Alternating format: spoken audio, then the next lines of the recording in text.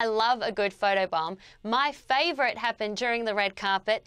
Benedict Cumberbatch did this great photo bomb on U2. He somehow managed to get really high up behind them and then posed. It was so fantastic. Another great one was Lupita Nyong'o, who snuck up behind Jared Leto and pulled this great face.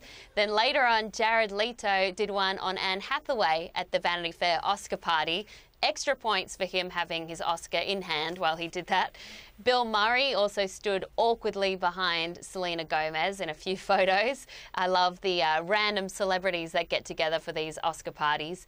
And then earlier in the night, Jennifer Lawrence, who's always fantastic, she's great for a, a viral moment, she snuck up behind a random couple and did this photo bomb, which was caught on cameras.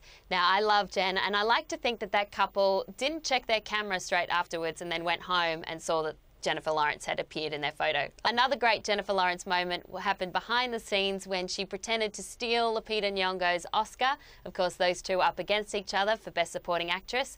And another a moment that I love of Jennifer, she's just so real and funny. It was caught on camera. She was at the red carpet and she waved to fans and then she realised that her arm jiggled when she waved, so she jiggled it extra hard.